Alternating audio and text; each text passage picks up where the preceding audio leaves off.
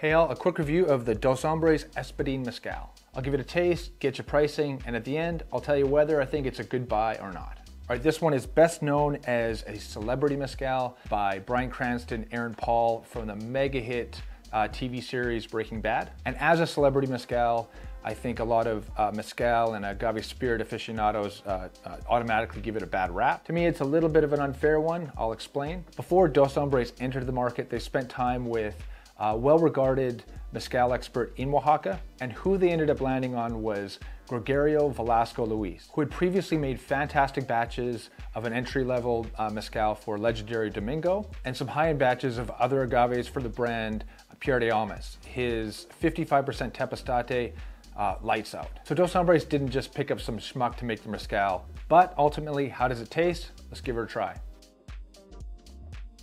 A little smoke to start, um, getting some orange kind of citrusy notes, a little grassy, but it's kind of just your standard Espadin.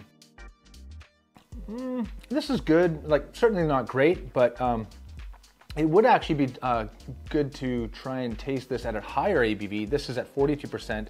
Um, it would be really interesting to try it, say 48% if uh, the flavors pop a bit more. So Bryan Cranston, Aaron Paul, get this done at 48% for me, eh boys?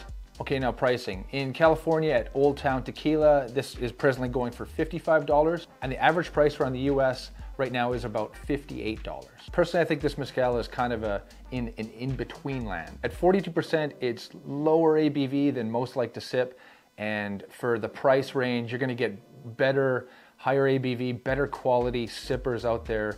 Uh, any of the Vago Espadins for one, the Tosba Espadin is fantastic, so um, in terms of sipping, the value certainly uh, isn't there, and yeah, you're gonna find better, better options for an actual lower price. Another big problem I see is this is priced too high for cocktail mezcals.